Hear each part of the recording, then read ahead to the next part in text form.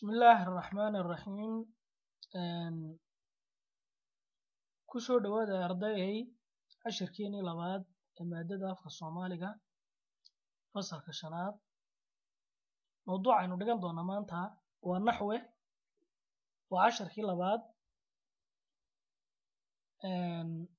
Waxaad la soo bixi doontaa ardayow bogga boqol iyo sagaal iyo afartanaad. Boggaasuu cashirku ku yaalaa ee buuggaaga afka Soomaaliga.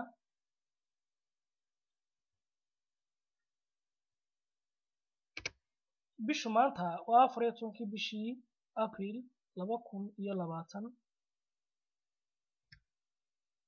Waxaynu maanta dhigan doonaa waxa la yidhaahaa magacuyaal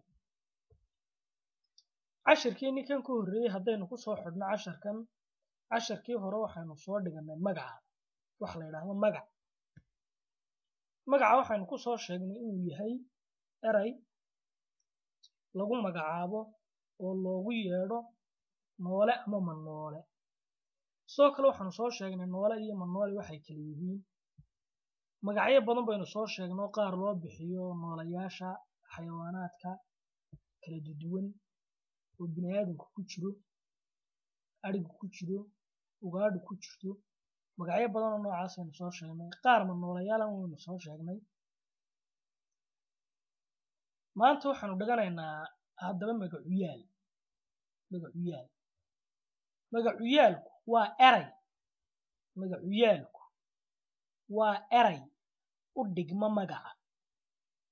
Magacu u dhigmaa ee bimacnaa magacayo isagu waa isku mid. Si marka loo eego laakiin waxay ku kala duwan yihiin waxa weeyaan magacuyaalku waxa uu galaa kaalinta magaca ayuu buuxiyaa deetana booskii magacu metele ka noqda oo kaalintu magaca weedha kaga jiro ayuu galaa. Magacuyaalku waa eray u dhigma magaca oo gala kaalinta magacu weedha kaga jiro.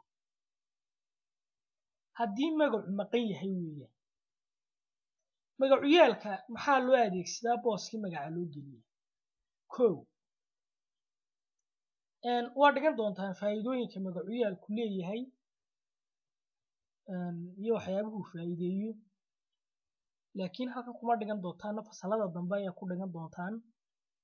Haddaan laakiin wax idinka sii sheego waxaa ka mid ah magacuyaalku waxa uu meesha ka saaraa soo celcelinta magaca magaca inuu soo noqnoqdo haddii uu soo noqnoqdo magacu qoraalkii ama hadalkii uu qofku ka hadlayey ku hadlayey ma qurux badanaayo ama qoraalkii uu qorayey ma qurux badanaayo. Sidaa daraaddeed baa dabeetana magacuyaalku uu faa'iido ugu yahay inuu meesha ka saaro soo noqnoqodkii magaca. Oo magacii lagaga maarmi kara. Waa faa'iidada ugu weyn ee uu leeyahay magacuyaalku. Magacuyaalada haddaba waxaa ka mid ah waa sideedan gebigoodaba waa sideed. Inta rasmiga ah marka kuwa faraca ee iyana dhigan doono laga yimaado markaa waxaa ka mid ah kelmadda aniga. Waa aniga markaan iska hadlayo qofka. Aniga. Oo qofkii iska hadlaya isagu sheegaya aniga lahaa. Iyada waxaynu sheegaynaa qof dumar ah. Dhadig ayaa loo adeegsadaa eraygan waa iyadu ama iyada. Isaga waa qof lab baa loo adeegsadaa. Lab ah. Isaga. Iyaga waa jamac. Waxaa loo adeegsadaa ama laba ha ahaadaan ama dhadiga ha ahaadaan ama ha isku jiraan waa jamacoo dad fara badan oo laba qof iyo wixii ka badan ayaa iyaga la yidhaahdaa ama iyagu. Adiga oo qofkii lala hadlayo waa qof keliya kelmadda innaga waynu iska hadlaynaayoo waa jamac waa aniga ayaa jamac noqoto innagay noqotaa. Marka innaga marka lagu leeyahay adiguna waad nagu jirtaa dad jamaca baynu nahay. Marka innagaa isla hadlayno innagu waxaynu doonaynaa inaynu wax baranno innagu. Innaga ayaa la ina soo maagay innaga.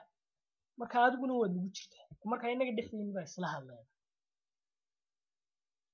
ereyganba inta badan dadku isku qaldaanoo annaga kani weeyaan. Laakiin adigu qofkan nagama mid ahaa aanu la hadlayna markan laakiin qofkii aanu la hadlayno naga mid ahaa ka lixaad ka toddobaadse qofku nagama mid ahay isdeedaad qofku nagama mid ahaa. Annagu waanu ciyaarnay.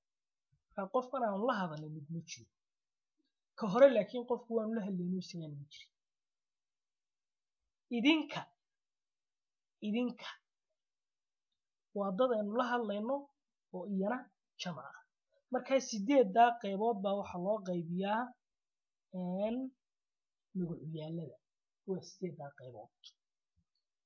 Sideeddaa qaybood waa magacuyaalada waxay galaan booska magaca iyagoo matela magaca.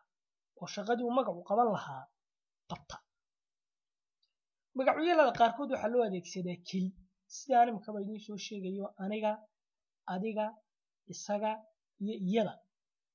Aniga adiga isaga iya iyo iyada waa keli.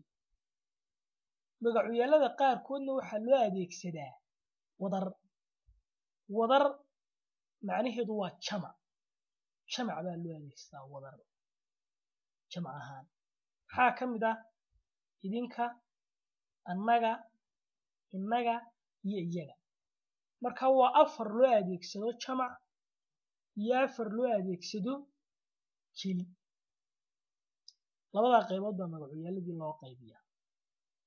Oo marka laga eegayo wadar ahaan iyo keli ahaan. Markaad tusaalayaashan yarar eegsaad magacuyaalada u fahanto ardayow wuxuu yidhi anigu waxa aan ahay arday. Anigu oo qofka isagii baa iska hadlayo warbixintii iska bixinaya anigu waxaan ahay arday. Iyadu waa qofka ugu weyn caruuraha aan walaalaha nahay iyadu markaa qof dumara buu sheegaya oo warbixin naga siinaya marka halkuu magaceedii adeegsan lahaa ayuu iyadii adeegsaday magacuyaalkii oo halku odhan lahaa caashi ama daynanta magaceedii ama muuna ama ayaa wuxuu yidhi iyadu. Marka iyadu waa la isla garanayaa booskii magaca waxa ku jirta iyadu. Kelmaddaa buugaaba marka magacuyaalkii noqon. Oo qofka ugu weyn caruuraha aan walaalaha nahay caashi bay noqon lahayd waa qofka ugu weyn. Marka magaceedii ka maarmo magacnuu noo adeegsaday. Magacuyaalkii uu geliyey booska shaqadii markaa magacna waxa qabanaya iyadu isaga ayaa ii sheegay in magaalada roob helay isaga. Oo qof laba qofkaasa warbixintaa bixiyey marka halkuu cali baa ii sheegay odhan lahaa ayuunbu iska yidhi isagaa ii sheegay. Adigu maxaa aad qabataa xilliyaga xilliga fasaxa maxaad qabataa? Waa su'aalo qof buu la hadlaya iyagu waa kooxda kubadda cagta ee qaranka. Iyagu dad buu sheegayaa markaa uu leeyahay. Innagu waa inaynu qadarino barayaasha dugsiga. Ardayow haddii aad cashar kaa fahantay magacuyaalada haddaan si kooban kuugu soo sheego magacuyaaladu waxay galaan waa erey gala booska magaca oo shaqadii magacu qaban lahaa weedha u qabta. Waxaa af soomaaliga ay noqdeen sideed qaybood sideedii qaybood anigaa kuu soo kala sheegay afar jamaca iyo afar afar wadar ah iyo afar keli ah tusaalayaashiina waad soo qaadatay. Markaa ballayliskan yara kooban ka shaqee. Magacuyaaladan ku buuxi meelaha bannaan baa la guujiye magacuyaada la guusiye waa iyadu inagu iyagu anigu isagu iyo idinku. Marka waxaad ku buuxinaysaa meelahan banbannaan weedhahan soo socda waa aan tegayaa maxaa ku buuxsamaya xagga saraad ka soo qaadaysa halkaas ka dhigaysa meelaha qaarkood waxaa laga yaabaa mid iyo laba in aad ka adeegsan karto oo ay laba mid soo noqon karaan. Markaa ku daba marka shaqeynayso oo hoyso wada dhan. Cuntada ayaa ay karinaysaa. Kubad ayaa ay ciyaaraysaa waa ardayad dadaalaysa. Waxa aad tihiin dad muran badan. Waaynu u diidnay waxa ay ina yidhaahdeen haye ardayow casharkaagan casharkan buuggaagu ku yaalaa dib u qor buuggaaga ku qor layliska qor ka shaqee waxaad fahmi weyday igu soo celi والسلام عليكم ورحمة الله